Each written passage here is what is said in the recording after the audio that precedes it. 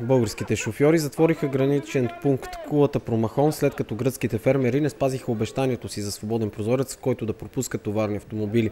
Нервите на нашите шофьори не издържаха и с телата си те застанаха на границата. Стотици български шофьори направиха контраблокада на българо-гръцката граница. Малко след 11 часа те застанаха на бариерата между България и Гърция и затвориха пункта Кулата Промахон. Преди седмица транспортният министр Ивайло Московски договори с гръцките власти 5 часов прозорец за преминаване на тежкотоварните автомобили. Във вторник обаче той не беше спазен. Гърците не, не отразяват изобщо, не си спазват договорките и си правят някакви неща, които ние трябва ежеминутно да се ориентираме спрямо техните настроения. Това няма как да продължи. Решихме, че е, повече нашите власти не трябва да бъдат унижавани, да се молят на гръцката страна. 24 часа сме вече, така смятам, че е нормално да ни пропуснат. Преди пропускаха по 6-7 часа на ден, сега не пропускат въобще.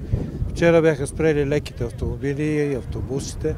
Днеска мисля, че трябва и ние малко да покажем, че може да затвориме границите и може да поседиме.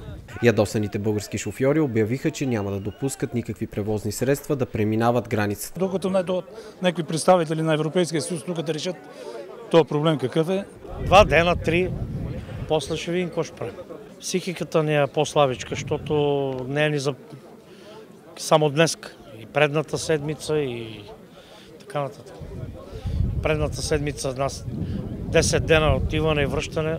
Пътуващите с автобуси за южната ни съседка не знаеха какво да правят, след като са били свалени на границата и не могат да продължат. Шофьорите са категорични, че тяхната контраблокада ще продължи, докато гръцките фермери не премахнат цялата си техника от границата.